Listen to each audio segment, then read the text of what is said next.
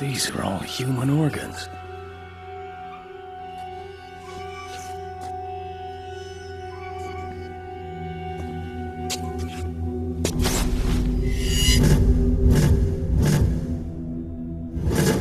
The missing girls.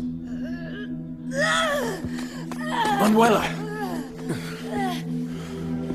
Her organs must be transplanted regularly. What are you talking about? It helps with the pain, keeping the virus at bay. But that's only for the first 15 years. If you had just let me die, none of this would have ever happened. No. I couldn't just watch you die.